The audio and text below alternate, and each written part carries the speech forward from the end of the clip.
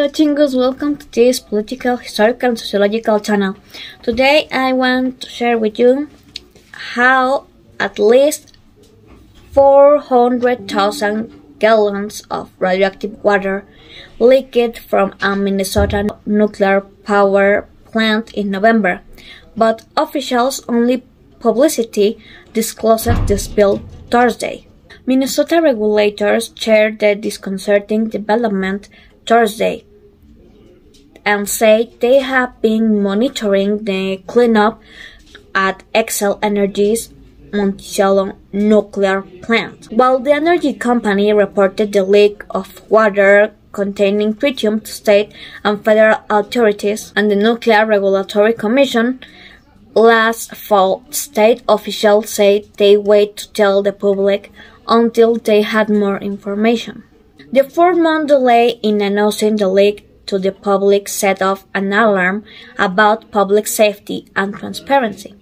However, industry experts say Friday that there was never threat to public health because the radioactive water never reached a threshold that would have required public notification. This is something we struggle with because there is a great deal of, of concern about anything nuclear, said Victoria Mitlyng, a spokeswoman of the Nuclear Regulatory Commission.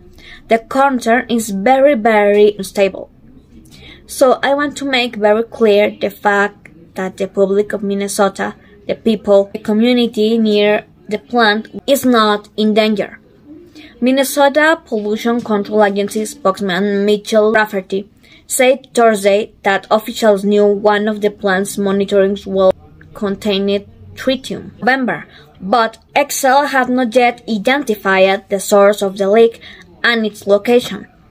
Note that we have all the information on where the leak occurred, how much was released into the groundwater, and that the contaminated groundwater moved beyond the original location. We are sharing this information, Rafferty said. Xcel said the leak came from a pipe between two buildings. Tritium is a radioactive isotope of hydrogen that occurs naturally in the environment and it's a common byproduct of nuclear, of nuclear plant operations. It emits a weak form of beta radiation that does not travel very far and cannot penetrate human skin, according to the Nuclear Regulatory Commission. The chemical only, pose, only poses a health risk to people who consume a large amount of tritium. According to Edwin Lyman, Director of Nuclear Energy Safety for the Union of Concerned Scientists. The risk is contained if the plume remains at the company site, which Xcel Energy and Minnesota officials says is the case. Xcel Energy took prompt action to contain the leak at the plant site, which does not pose a risk to the health and safety of the local community or the environment. The Minneapolis-based utility said in statement. Mitlyng said nuclear, nuclear plants are not required to report all tritium leaks to the Nuclear Regulatory Commission. However, Xcel agreed to report certain leaks to the state, who in turn shares it with the Commission.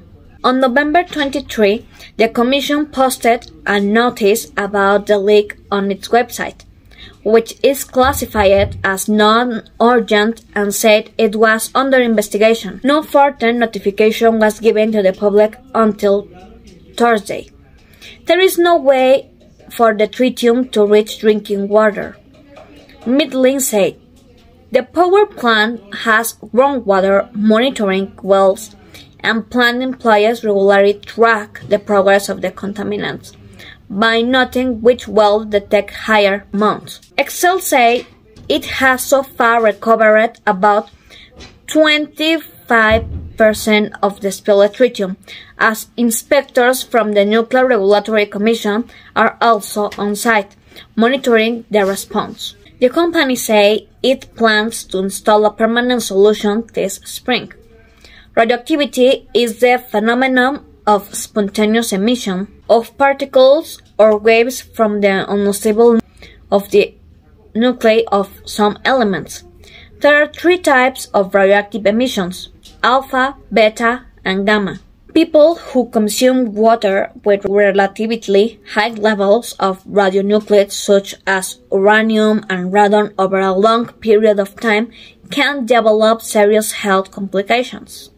Health problems include cancer, osteoporosis, anemia, bone growth, cataracts, compromised immune system, and liver and kidney disease. Alpha particles cannot penetrate human skin, but are very harmful when inhaled or swallowed.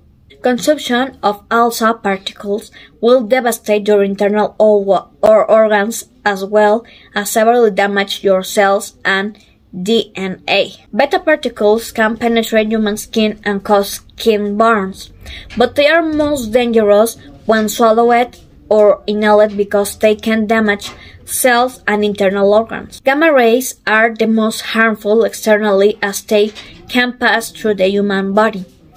They will easily damage cells in their path, damaging tissue and DNA. Are likely to ingest radionuclides by drinking contaminated water, water or eating food cleaned with contaminated water. Once you ingest radioactive material, the particles travel through your body while damaging your organs. The particles will ionize and destabilize the atoms in your body, damaging cells and chromosomes. The ionization process can kill cells or trigger unnatural cell reproduction. Do you think that the radioactive water could have leaked with the drinking water and they are hiding it? Why do you think these kind of problems are occurring of the part of the companies and state? Since there are several taking into account what happened in Ohio. I would like to know in the comments what do you think.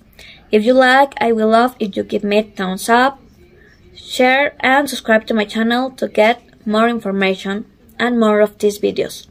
Thank you very much and see you next time. Bye! 眺めて